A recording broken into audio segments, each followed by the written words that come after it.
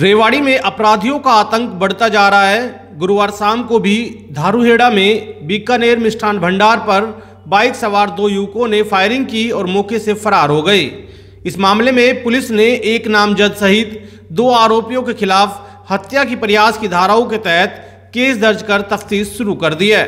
जानकारी के मुताबिक मूल रूप से अटेली के पास राता गाँव के रहने वाले यशवीर ने धारूहेड़ा के नंदरामपुर बाँस रोड स्थित बीकानेर मिष्ठान भंडार खोला हुआ है।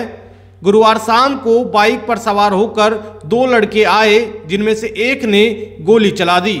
दुकान में भीड़ ज़्यादा होने के कारण हमलावरों ने बाहर से ही यशवीर पर फायर कर दिया, जिससे दुकान का शीशा टूट गया और वो बाल बाल बच गए।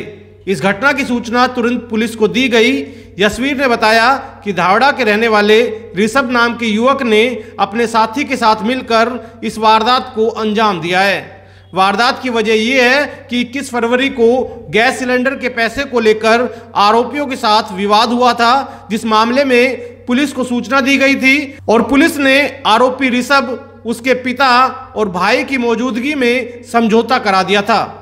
लेकिन अब तीन दिन बाद ऋषभ ने जसवीर पर उस वक्त फायरिंग कर दी, जब वो दुकान में बैठा हुआ था। लेकिन यहाँ गनीमत ये रही कि गोली यशवीर को ना लगकर दुकान के शीशे में जा लगी और यशवीर बाल बाल बच गए।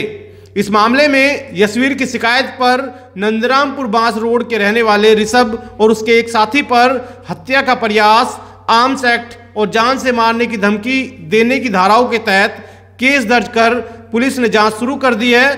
पुलिस का कहना है कि अभी मामले की जाँच की जा रही है और जल्द आरोपियों को काबू कर लिया जाएगा।